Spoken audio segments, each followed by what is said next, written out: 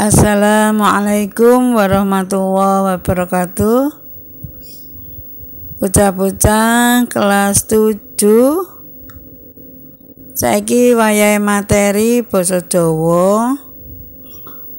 Iki latihan-latihan.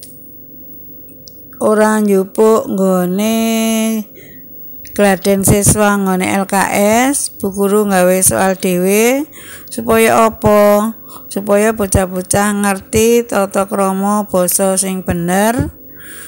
Terus sing ping loro supaya ngerti luwih pinter nulis aksara utawa tulisan Jawa utawa ana caraka.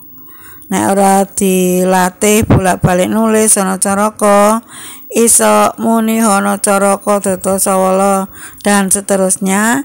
Tapi nulis akeh-akeh bocah-bocah durung apal bentuk-bentuk. Ho iku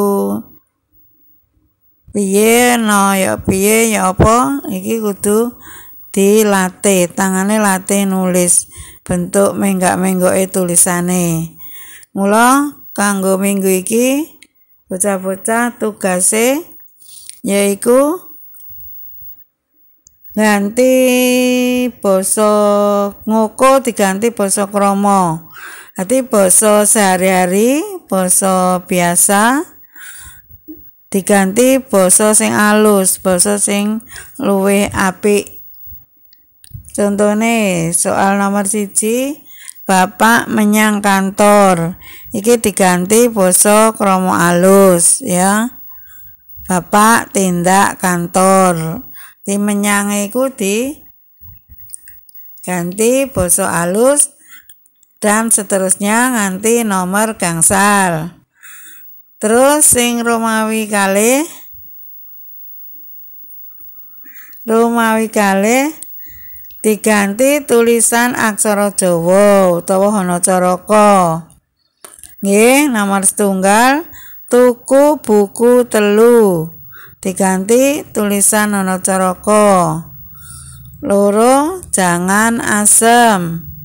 Nomor tiga mangan sate.